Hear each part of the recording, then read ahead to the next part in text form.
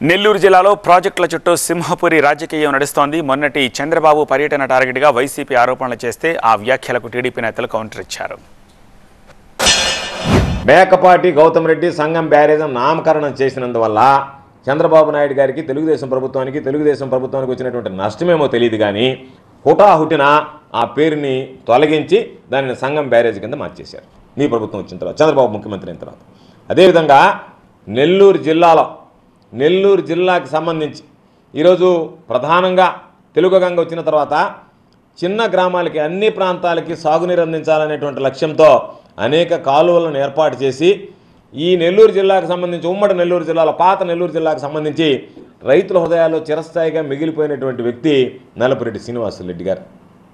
ఆయన సేవలకి గుర్తుగా నెల్లూరు బ్యారేజీకి నల్లపురెడ్డి శ్రీనివాసరెడ్డి బ్యారేజ్ అని చెప్పి చెప్పి నామకరణం చేయడం జరిగింది. మేము సూటిగా అడిగేది మీరు అధికారంలోకి వచ్చిన తర్వాత పేర్లు మార్చడం తప్ప అభివృద్ధి గురించి కానీ అభివృద్ధిని గురించి ఆలోచన చేసినటువంటి దాఖలాలు కనిపించడం లేదు.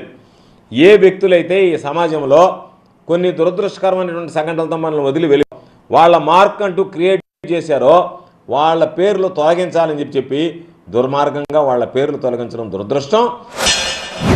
మార్చాల్సిన అవసరం ఉందా లేదా అని అంటే గోవర్ధన్ రెడ్డి గారే చెప్పాలా దీనికి? గతంలో మీ పరిపాలనలో ఎన్టీ రామారావు పేరు తీసేసి డాక్టర్ వైఎస్ రాజశేఖర రెడ్డి గారి పేరు పెట్టినప్పుడు ఇది మంచి పద్ధతి కాదని చెప్పలేకపోయావు ఆ రోజు? ఆ రోజు వైఎస్ఆర్ పార్టీ జిల్లా నాయకుడు తర్వాత రాష్ట్ర నాయకుడు అయ్యావు.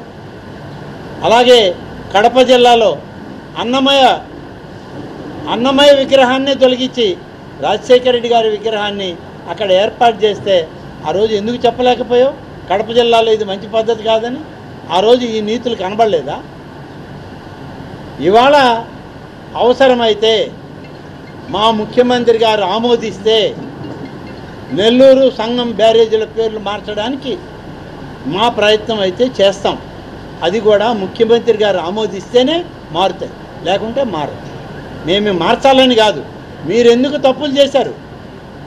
సంఘం బ్యారేజ్కి ఏ సంబంధం ఉంది పేరు పెట్టారు మీరు నెల్లూరు బ్యారేజ్కి ఏ సంబంధం ఉంది మీరు పేర్లు పెట్టారు? ఏ సంబంధం ఉంది ఇప్పుడు? ఉన్న మీ ఎమ్మెల్యేలను అడగండి. ఎవరు తీసుకొచ్చారు సంఘం బ్యారేజ్ని?